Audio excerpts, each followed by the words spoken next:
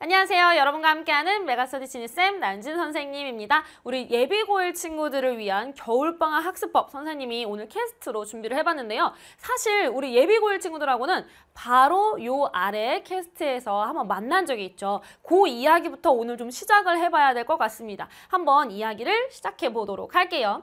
어, 혹시 기억나니? 바로 아래 선생님 캐스트 요거 준비했는데 우리 pre-season이라고 해가지고 선생님이 예비고1 친구들을 위해서 정말 그렇게 길게 캐스트를 찍어본 적이 없을 정도로 되게 되게 자세한 이야기. 여러분들이 지금부터 뭘 해야 하고 또 우리 고등국어 의 로드맵을 어떻게 짜야 되고 어떤 공부가 필요하고 예비고일 설명이라고 할 수 있을 만큼 굉장히 자세하고 다양한 얘기를 했었는데 거기에서 선생님이 우리 지금 겨울방학 때 요런 거 했으면 좋겠어 라고 말씀드렸던 거 기억나실 거예요. 자, 세 가지를 말씀드렸습니다. 중등 전체 내용 반드시 좀 복습을 하고 오는 게 좋겠고요. 그 다음에 문법과 문화, 우리 개념 잘 챙겨놓는 것이 좋겠고 개념을 토대로 해서 이제 여러분들이 좀 어려워하는 고전 시가 같은 경우에는 조금 선행을 하고 들어갔으면 좋겠다. 실제 작품을 봐야 된다. 근데 작품만 보면 안 되고 고전 시가는 특히나 갈래에 대한 이야기가 굉장히 중요하다라는 얘기들을 드렸었습니다. 했었죠.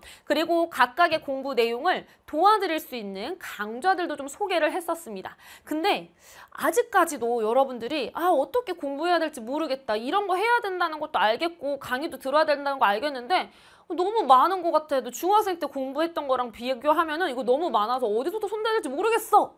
라고 하는 친구들을 위해서 선생님이 오늘 정말 체계적이고 실질적인 플랜을 짜왔어. 여러분 기대하고 들어주시면 좋겠습니다.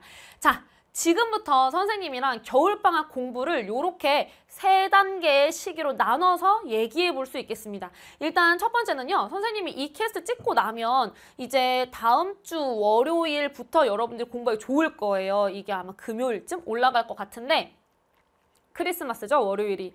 크리스마스를 기점으로 그 마지막 한 주 요거 우리 어떻게 보내면 좋을까? 연말이라고 굉장히 놀고 싶지만 우리 마음 흔들리지 말고 잘 공부를 해보자 하는 거고요. 1월 1일부터 1월 28일이라고 되어 있지만 이제 선생님이 요거 공부 계획을 세울 때는 1월 1일은 조금 빼보았어요. 그래서 1월 2일부터 28일까지 1월 한 달을 이 4주를 어떻게 보내면 좋을지. 그리고 이제 마지막으로 이번에 여러분 윤달이더라고요. 2024년이 4년마다 돌아오는 그 윤달이야. 1월 29일부터 2월 29일까지 세상 날짜도 좋아. 딱 이 사주 한 달을 어떻게 보내면 좋을지도 짜봤습니다. 단계적으로 여러분들이 더 심화하고 발전시켜 나가면서 공부할 수 있도록 정말 실질적으로 얘기를 한번 해보려고 하는데요. 일단 첫 번째 12월 마지막 주는 우리가 앞에서 얘기했던 처음 필요한 공부, 바로 중3 때까지 공부했던 것들을 복습하는 시간 가져주시면 좋겠습니다. 중학교 국어 복습 총정리에다가 플러스 고등 입문까지 함께 할 수 있는 강좌로 선생님이 요거를 소개해 드렸었죠. 이거는 가장 기초 강좌예요. 선생님이 준비해 놓은 수능 기초 강좌 중에 가장 기초 강좌. 그래서 가벼운 수능 기초라고 되어 있죠. 총 두 강입니다. 두 개로 되어 있어요. 강좌가. 첫 번째는 문학과 비문학 10강, 두 번째는 문법편 8강으로 선 소개를 해드렸는데 이게 18강이라서 제가 하루에 두 강에서 한 3, 4강 들으면 좋겠어요 라고 말씀드렸었잖아요. 이거를 아예 오늘 그냥 딱 정해드리려고 해요. 매일 3, 4강씩 6일 동안 깔끔하게 정리를 해보자. 그래서 이 12월 마지막 주는 선생님이 여러분들 처음 고등 국어 시작하는 시간인 만큼 제가 아예 일주일 플랜을 짜왔어요. 자 이렇게 한번 우리 들어보자. 약속할 거죠 여러분. 선생님 이렇게까지 짜왔으니까 어, 일단 월요일은요. 문학 1, 2강 그리고 문법 1강을 듣습니다. 그럼 총 3강을 듣는 거잖아요.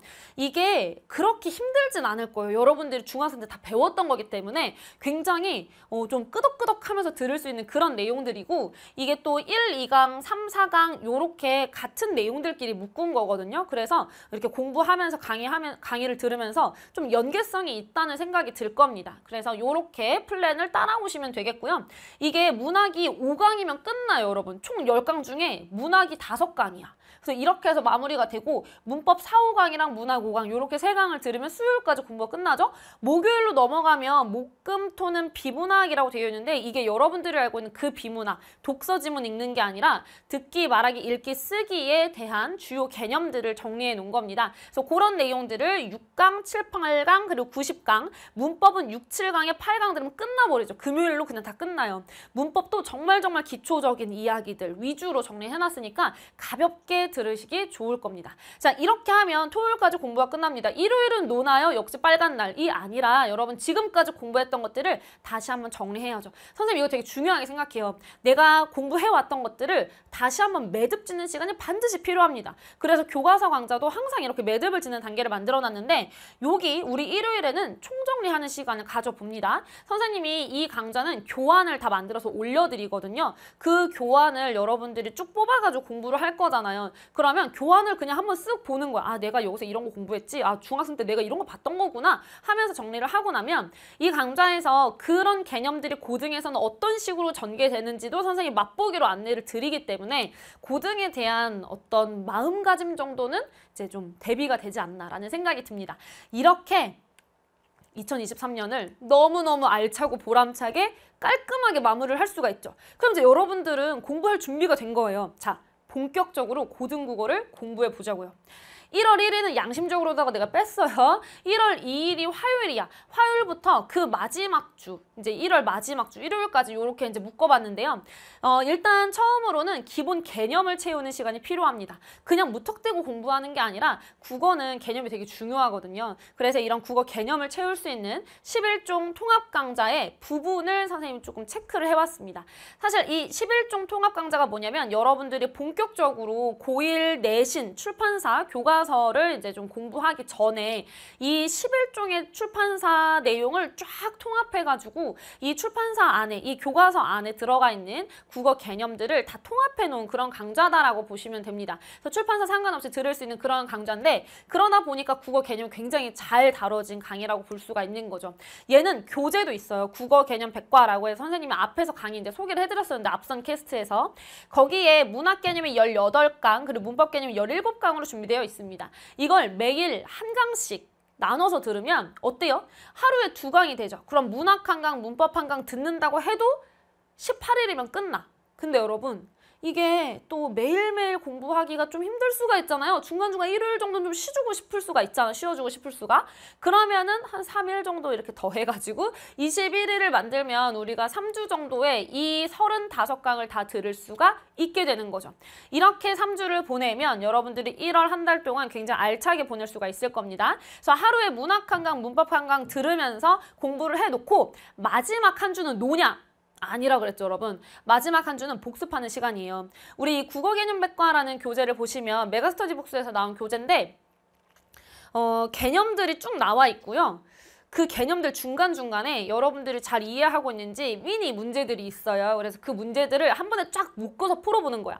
강의를 들을 때는 문제풀이 안 하고 그냥 강의를 쭉 듣고요. 마지막에 여러분들이 지금까지 공부했던 것들을 문제풀이를 일주일 동안 하는 거죠. 그러면서 이제 궁금한 것들 질문 처리도 하고 혹은 이제 앞에서 강의 들으면서 질문 처리해놨던 것들 다시 여러분 마이 페이지 들어가시면 여러분들이 썼던 글들 다 볼 수 있거든요. 그거를 쭉 보면서 아 내가 이런 거 헷갈려 있었지? 아 내가 이런 거 이렇게 답변 받았지? 이거를 한번 싹 정리하면 너무 좋을 것 같아. 이렇게 해서 고등 입문을 위한 기본 개념 다 정리를 해주실 수가 있겠습니다. 자, 그리고 나서 2월이 되죠. 그러면 이제 어때요? 1월 29일부터 2월 29일까지 정말 이 기간 끝나면 나 레알 고1이 되는 거예요, 여러분. 이제 교복 입고 이제 학교 가야 되는 거야. 그렇기 때문에 이때는 좀 더 실전적인 거를 하면 좋겠죠. 그래서 개념들을 좀 더 적용할 수 있도록 여러분들이 실제 작품을 보는 겁니다. 기초 체력 만들기라고 선생님 한번 이름을 붙여봤어요. 이렇게 선행을 해놓고 나면 여러분이 고1이 딱 되었을 때 조금 이제 기초 체력이 생겼기 때문에 좀 낯선 작품들이 이렇게 떨어져 나와도 공부하라고 이렇게 하늘에 뚝뚝 떨어지잖아요. 그런 것들을 봐도 어 내가 봤었던 거랑 이런 게 비슷하네. 혹은 내가 봤었던 게 나오기도 하고 선생님 주요한 작품들 많이 다뤄놨기 때문에 그래서 이렇게 좀 기초체를 만들 수가 있는 강좌를 소개를 했습니다. 앞에서도. 그래서 연결고리 진짜 문학 고전 운문 편이에요. 특히 고전 운문을 지금 봐둘 필요가 있다는 거죠. 현대시는 지금 보기 너무 많으니까 고전 시가를 좀 봐두자. 25강입니다. 이게 갈래 플러스 그 각각의 갈래별 주요 작품들을 다룬 강좌다라고 제가 앞서서 말씀을 드렸었는데 어, 이 다섯 가지 갈래 중에 고대 가요와 시조는요. 약간 작품이 짧아요. 그래서 여러분들이 하루에 두 강씩도 충분히 들을 수 있고 특히 고대 가요는 강의 수도 그렇게 안 많아. 그래서 금방 끝납니다. 이렇게 두 강씩 듣고 다른 갈래들 뭐 예를 들어서 가사 이런 건 여러분 너무 길어요. 관동별곡 이런 거 나오는 거야. 그래서 관동별곡은 선생님이 무려 두 강으로 나눠놨어. 그러면 관동별곡은 이틀에 걸쳐서 공부하는 거예요. 얼마나 부담 없고 좋아? 이렇게 공부를 해 놓으면 3주면 거의 다 들어. 거의 다가 아니죠, 여러분. 3주면 충분히 듣는다. 이렇게 해서 또 3주를 알차게 보낼 수 있습니다. 그러면 또 1주가 남죠. 이 1주 동안은 뭐 할까? 문제풀이를 한번 해보는 거예요. 지금까지 여러분들이 12월 한 주 동안 공부한 거, 1월 한 달 동안 공부한 거, 그리고 2월 한 달 동안 공부한 거를 싹 묶어서 물론 이제 문법 공부나 이런 것들이 조금 어렵게 느껴질 수는 있어요. 문제를 풀 때. 그렇지만 한번 문제를 풀어보자. 정말 고1 때는 어떤 문제를 만나는지 한번 해보자 라는 마음을 가지고 2023년 3월 학력평가를 2월 마지막 주에 한번 뽑아서 풀어보세요. 미리 말할게 어려워. 여러분들이 어, 나 왜 이렇게 국어를 못하지? 이렇게 느낄 수도 있을 만큼 어려울 수 있어요. 그러나 어려운 게 맞아요. 근데 이제 여러분이 이제 고1이 되면 바로 3월달에 학력평가 보잖아요. 그러니까 그런 것들을 좀 대비할 수도 있고, 음, 지금까지 공부했던 것들을 또 한번 연습할 수 있는 그런 기회가 될 수 있으니까 그거 보시면 되겠고요. 선생님이 학력평가 해설 강의를 계속 찍습니다. 오늘도 찍어야 돼요. 그래서 선생님 이제 12월 학력평가 해설 강의 오늘 찍을 건데 여기 선생님 학력평가 해설 강의 어디서 볼 수 있냐면 선생님 홈에 맨 마지막 탭에 가서 보시면 해설 강의 이렇게 되어 있거든요. 쭉 보면 2023년 9월까지 아마 내일 이게 올라가면은 12월 것도 같이 올라가 있을 것 같긴 한데 2023년 3월 학력평가 후반부 해설이 있을 거예요. 그걸 해놨으니까 여러분들이 어 좀 풀이를 듣고 싶다 하면 그런 강좌를 참고하셔도 됩니다.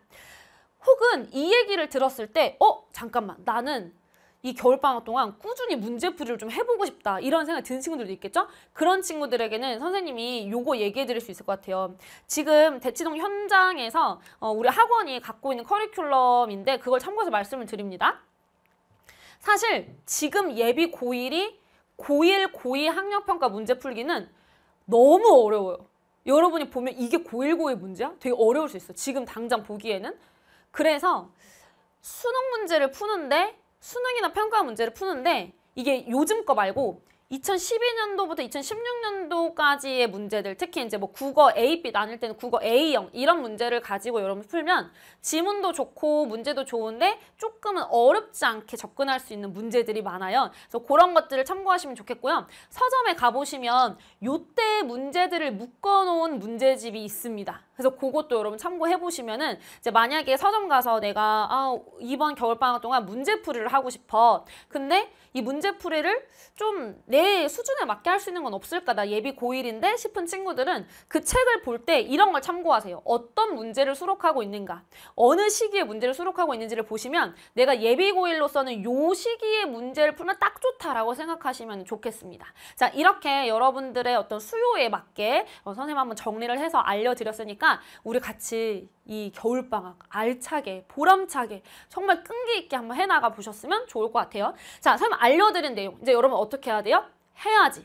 근데 하는 데 있어서 지금 당장 우리 예비고일 친구들은 힘들 수도 있거든요. 그러니까 플래너도 좀 열심히 써주셨으면 좋겠어요. 우리 메가 플래너 나왔잖아요, 여러분. 그것도 좀 눈여겨서 관심 있게 보시고 플래너 열심히 쓰면서 이렇게 할 수 있다는 말도 스스로에게 던져주시면서 우리 고1 시작을 잘 좀 해주셨으면 좋겠습니다.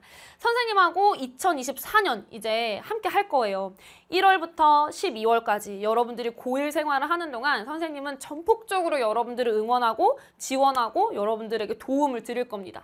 여러분들이 모르는 거는 알려드리고 여러분들이 궁금한 것도 챙겨드리고 여러분들이 정말 힘들고 필요할 때 상담이 필요할 때 선생님 이 게시판에 오셔서 얘기도 나누면 얘기도 들어드리고 이렇게 하면서 여러분이 고1 생활을 충분히 성공적으로 할 수 있도록 선생님은 옆에서 계속 응원하고 도와드릴 테니까요. 여러분들은 잘 해주시면 되겠습니다. 선생님이 오늘 여러 가지 플랜들을 알려드렸어요. 이 플랜을 잘 따라오면서 궁금한 게 있으면 언제든지 질문 게시판에서 만나면 좋겠습니다. 자 여기까지 해서 선생님이 준비한 우리 예비 고1 친구들을 위한 겨울방학 학습법 캐스트 마무리 지어보도록 하고요. 선생님은 또 재미있는 캐스트 그리고 또 다양한 강의들을 가지고 찾아오도록 하겠습니다. 그럼 다음에 다시 만나요. 안녕!